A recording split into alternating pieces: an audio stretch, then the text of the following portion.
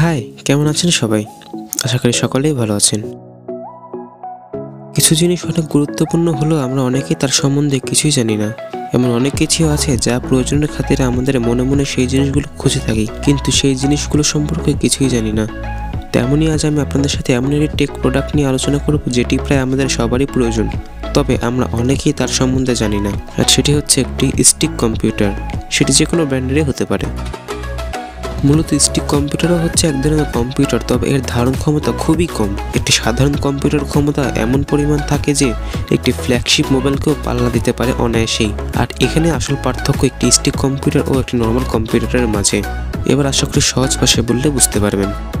একটি stick computer হচ্ছে একটি মিনি পিসি, যেটার ভেতরে সাধারণত কম্পিউটারের মতোই RAM, ROM, processor, cooling system সব কিছুই থাকে, তবে তার শক্তির পরিমাণ খুবই কম। তাই আপনি এগুলোতে কোনো ধরনের ভারী কাজ করতে পারবেন না। ভারী কাজ বলতে আমি বুঝিয়েছি যেমন গেমিং, এডিটিং ভিএফএক্সের এসব ধরনের কাজ। এটি দ্বারা আপনি যা করতে পারবেন তা হচ্ছে মাইক্রোসফট অফিস রিলেটেড যত কাজকর্ম আছে যেমন Excel, MS, Word PowerPoint এছাড়া নর্মাল টুকটাক ব্রাউজিং এবং সবচেয়ে বড় সুবিধা হলো কম্পিউটারের ইন্টারফেসের সাথে পরিচিত হওয়া।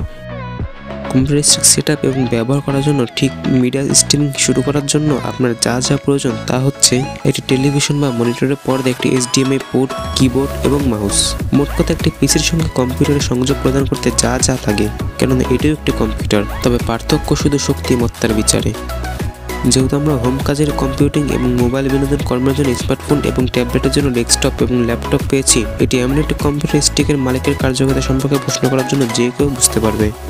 প্রত্যেকের জন্য না হলে এমন পরিস্থিতি রয়েছে যা সবার একটি কম্পিউটার স্টিক সত্যি দরকারি। অন্তত পক্ষে আমার তো তাই মনে হয়।